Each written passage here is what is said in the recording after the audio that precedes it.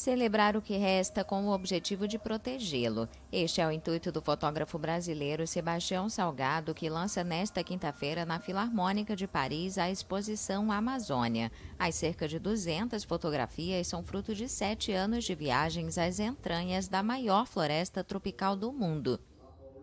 Na Amazônia, euh, c'est pas seulement une grande planície avec a Amazônia não é apenas uma grande planície com rios correndo no meio. São as montanhas, é um sistema de água, são os rios voadores que percorrem todo o planeta e a Amazônia são as comunidades indígenas. Esta é uma tentativa de apresentar a Amazônia para que as pessoas possam ter consciência do que ela realmente é. Além de ter o poder de levar o visitante para dentro da floresta, a exposição também apresenta os 10 grupos indígenas com os quais Salgado conviveu durante sua jornada de sete anos. O fotógrafo renomado pretende convidar líderes indígenas para contar sobre a destruição de seu habitat quando a pandemia diminuir e espera chamar a atenção para a importância de preservar a floresta. Ele aproveitou a ocasião para criticar o presidente Jair Bolsonaro, visto por muitos como inimigo do meio ambiente.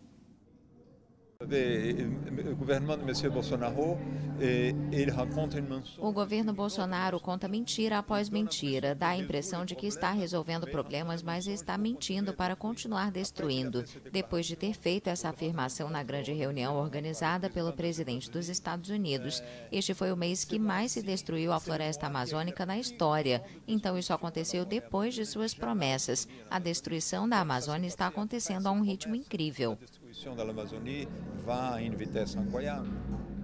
A exposição conta ainda com música composta para a ocasião pelo compositor francês Jean-Michel Jarre, um dos pioneiros da música eletrônica.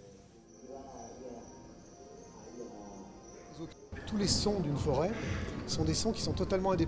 Todos os sons em uma floresta são totalmente independentes uns dos outros. O pássaro que canta ignora totalmente as pessoas que passam entre as árvores, a chuva caindo na pedra, etc. Mas para o ouvido humano, isso forma uma harmonia geral, que nada tem a ver com a orquestração, mas é uma harmonia dos sons da floresta. Foi o que tentei fazer, constituindo uma espécie de caixa de ferramentas que pode ser feita de orgânico, eletrônico, eletroacústico ou elementos concretos e também étnicos étnicos.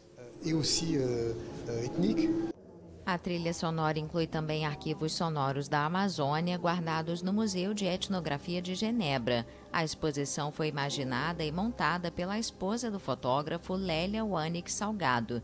A mostra já nasceu com vocação internacional e deve viajar por cidades como Londres e Roma, além de São Paulo e Rio de Janeiro, mostrando aos visitantes a grandiosidade da maior floresta tropical do mundo.